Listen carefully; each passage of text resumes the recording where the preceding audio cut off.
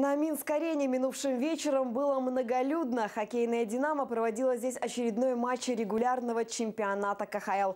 Гостем белорусской столицы стал автомобилист из Екатеринбурга. Подробности игры в сюжете Александра Карася. В первые минуты активнее выглядели гости. В нескольких моментах только мастерство Скривенса спасало минчан от неименуемого гола. А открыли счет Зубры. На седьмой минуте защитник Лисовет сыграл, как заправский нападающий, поразил цель с добивания. Гости отыгрались быстро. Спустя пару минут они реализовали выход 2 в 1. Впрочем, на первый перерыв команды все равно ушли при счете в пользу «Динамо». Большинство реализовал Эллисон, прервавший 13-матчевое голевое молчание.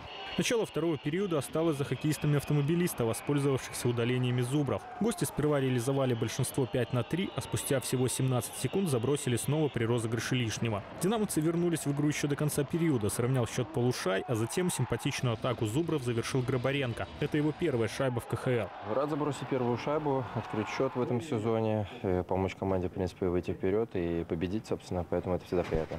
В третьем периоде скорости упали. Минчане уже не столь удачно комбинировали у чужих ворот и к тому же неприлично часто удалялись. И все-таки выстояв при игре в неравных составах, Зубры пропустили в концовке при игре 5 на 5. Ничья и овертайм. Он, по счастью, был недолгим и завершился точным броском Граньяни. 5-4 победа «Динамо».